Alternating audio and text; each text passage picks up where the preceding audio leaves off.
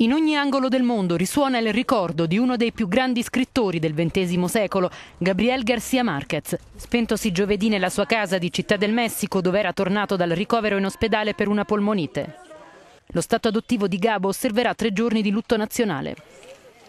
Anche il suo paesino natale era Cataca in Colombia, dove García Márquez trascorse l'infanzia, dice addio al padre del realismo magico latinoamericano. Sono molto commossa, triste, dice un'amica. Mi sento orfana dell'opera di Gabo. Il corpo del premio Nobel per la letteratura è stato trasferito in una casa funeraria per la cremazione in forma privata. Non ci saranno cerimonie fino all'omaggio di lunedì nel Palazzo delle Belle Arti di Città del Messico. Dobbiamo essergli grati per tutto quello che ci ha lasciato e per tutto quello che ci ha insegnato, visto che ci ha insegnato a vedere il mondo in un altro modo.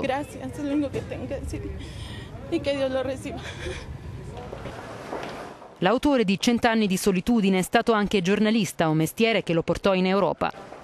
Inoltre nella sua vita fu forte l'impegno civile, criticò apertamente Pinochet e fu grande amico di Fidel Castro. Ora quello che fa più male sono le belle parole che la morte ci ha rubato con una mano vincente, ha commentato lo scrittore uruguaiano Eduardo Galeano.